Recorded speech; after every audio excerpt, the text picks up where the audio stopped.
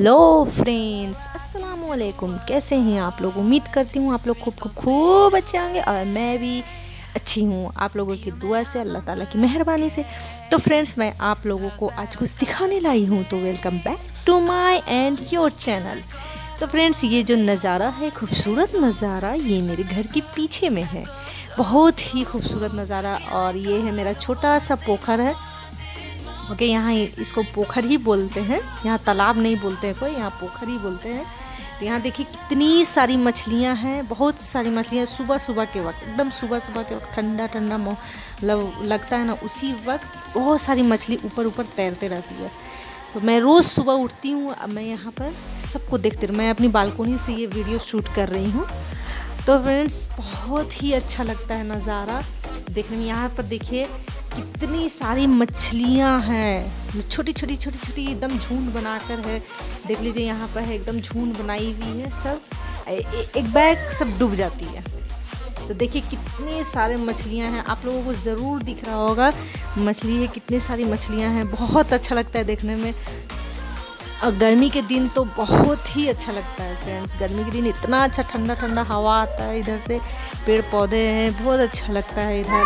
और मेरे यहाँ जो भी गेस्ट आते हैं ना, उनको बहुत अच्छा लगता है। बोलते कि वाह यहाँ तो गर्मी का एहसास ही नहीं होता। इतना अच्छा मौसम लग रहा है, इतना अच्छा हवा आ रहा है। तो फ्रेंड्स पेड़ पौधे रहने से ना यही फ़ायदा होता है कि फ्रेश हवा मिलेगा।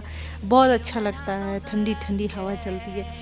तो बहुत अच्छा लगता है फ्रेंड्स ये देखिए, चारों तरफ़ से पेड़ पौधे हैं और बीच में पोखर है, देख लीजिए. चारों तरफ़ से पेड़ पौधे और देखिए, वहाँ पे देखिए, एक और बड़ा सा पोखर बहुत बड़ा पोखर है. वहाँ बड़ी बड़ी मछलियाँ हैं. बहुत बड़ा पोखर है वो. और यहाँ पर देखिए, घर है वहाँ पे वाइट कलर का. यहाँ पे देखिए, ये बहुत पुराना मंदिर है. घर के पास ही, मेरे घर के पास बहुत पुराना मंदिर है. ओके और ये देखिए, वहाँ पर देखिए, वहाँ से आने जाने का रास्ता है। बहुत मतलब कि यहाँ ऐसा नहीं है, यहाँ बहुत सारे आदमी लोग आते जाते हैं बट ये नहाने का पोखर नहीं, यहाँ मछलियाँ बस, सिर्फ़ मछलियाँ रहती है यहाँ। तो फ्रेंड्स ये था मेरा आज का छोटा सा वीडियो तो आप लोग बताइएगा, आप लोगों को यहाँ घूम के कैसा लगा? मुझे तो बहुत मज़ा आता है। यहाँ पे देखिए फ्रेंड्स यहाँ पे मेरे घर के आगे में बहुत बड़ी दीवार है, जिसके वजह से पोखर का पानी वहाँ पर से छेका हुआ है। तो फ्रेंड्स ये रहा मेरा आज का नज़ारा। तो आप लोग ज़रूर बताइएगा कि आप लोगों को वीडियो कैसा लगा।